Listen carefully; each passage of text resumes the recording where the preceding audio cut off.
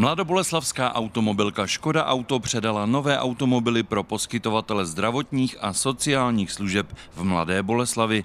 Pětici vozů si před zákaznickým centrem převzali zástupci Klaudiánovy nemocnice, pečovatelské služby města Mladá Boleslav a diecezní Charity Litoměřice. Jako nejvhodnější vůz z naší palety se eh, tady pro Boleslavskou ukázala Škoda Fabia, takže tady vidíme eh, paletu eh, Fabii v provedení kombi nebo hatchback podle toho, jak to těm organizacím vyhovuje vyhovuje. Mám radost, že eh, rok od roku se nám daří navyšovat eh, ten počet automobilů, které můžou sloužit dobrému účelu.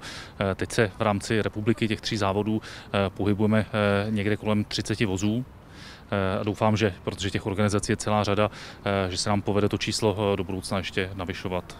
Automobily jsou poskytnuty formou operativního leasingu. To je výhodné především pro uživatele, kterým odpadají starosti s údržbou a servisem.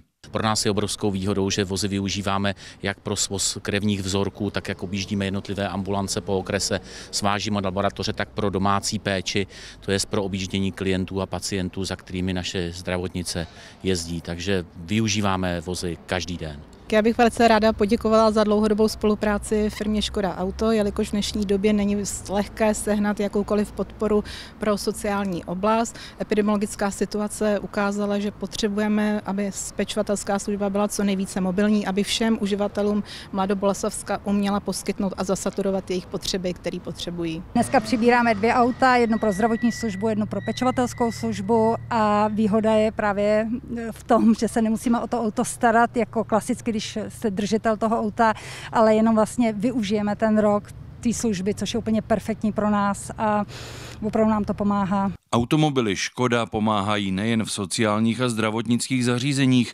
Automobilka je během pandemie poskytla například i dobrovolníkům pro rozvoz léků či nákupů pro rizikové skupiny občanů. Bohumil Horáček, první Boleslavská.